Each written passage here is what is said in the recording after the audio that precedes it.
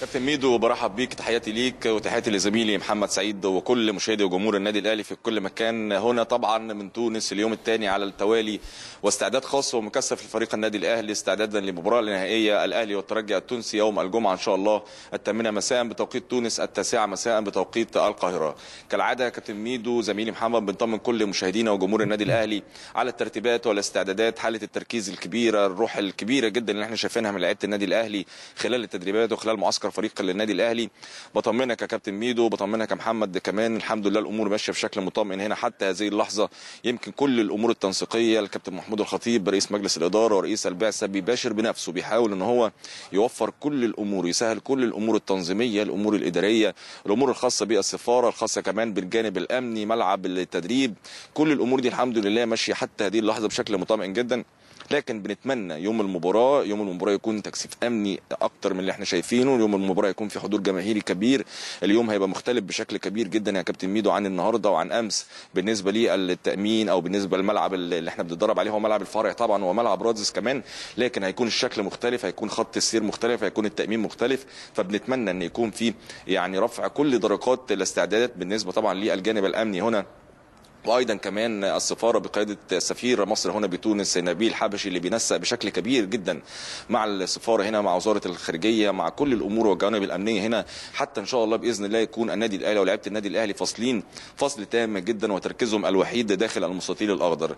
لو بأكد كمان على الفصل التام ده اللي إحنا شايفينه من مستر باتريس والكابتن محمد يوسف الحقيقة في أمور محيطة بفريق النادي الأهلي بعض المضايقات جمهور يمكن نادي الترجي بنقدر نقول إن هو مشحون شوية بلغة الكورة كابتن ميدو لكن ده أمور معتادة عليها للنادي الأهلي في مجهود كبير بيبذل من كابتن محمد يوسف مستر باتريس كابتن محمود الخطيب كمان بشكل شخصي.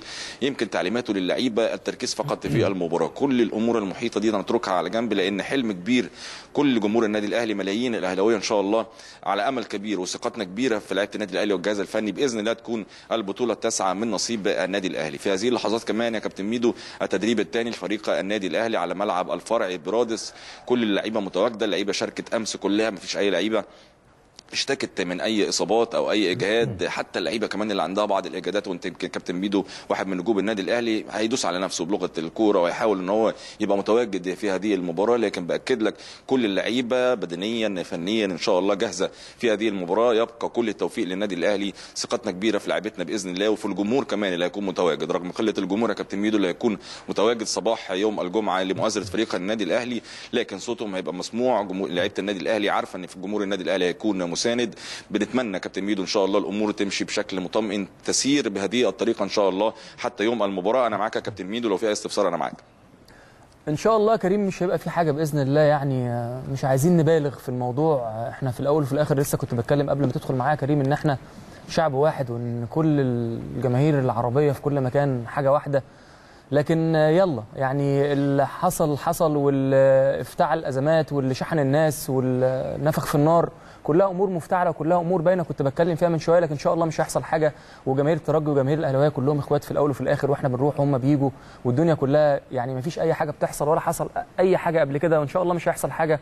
لكن يعني مش عايزين نسمع كريم ودايما تقول الكلام ده للإخوة التوانسة وفي أي مكان إحنا بنروحه مش عايزين نسمع لأصحاب الفتن اللي دايما بينفخوا في النار اللي دايما بيتلذذوا إن هم يسيروا الأزمات من غير أي شيء بصراحة.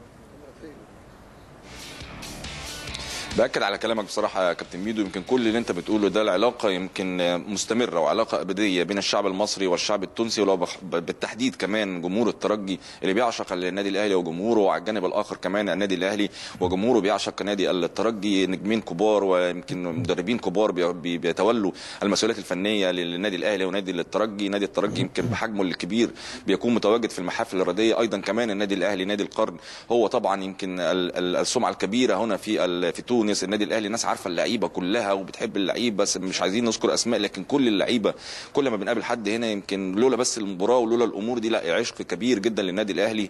بنتمنى يمكن أي حد بيتكلم عن هذا الأمر يكون الكلام صالح يكون الكلام له هدف. ما بيحبش الكلام طبعا والناس اللي بتتكلم بشكل سيء على النادي الأهلي وبتتكلم أيضا أيضا كمان بالنسبة للجانب الإعلامي هنا في تونس. لكن يمكن الأمور إن شاء الله بإذن الله تصب في مصلحة النادي الأهلي. هدفنا يا كابتن ميدو وأكيد هدف كل جمهور النادي الأهلي هي هذه البطولة. بطولة غايبة عننا. هنا بقالها فترة في تركيز كبير وبأكد لك على الحماس الكبير اللي إحنا بنشوفه من لعيبة النادي الأهلي في التدريبات. في صمت رهيب في معسكر فريق النادي الأهلي في تركيز شديد وبأكد عليه كل مرة لأن الحالة يمكن بقالنا فترة ما شفناش الحالة دي. آه لعيبة النادي الأهلي عارفين إن هي بتبقى في مرحلة تركيز كبيرة جدا لكن هذه المباراة منذ وصلنا إلى فندق الإقامة في تونس لا حالة يمكن أول مرة نشوفها تدل وبتدينا ثقة وبتنعكس علينا كبعثة إعلامية مشاركة مع النادي الأهلي إن ان شاء الله سنعود من هنا من رد السبيع البطولة التاسعة إن شاء الله يا كابتن ميدو.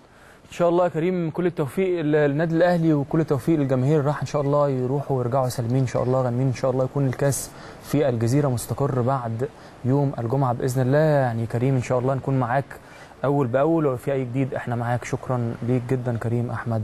أخي يعني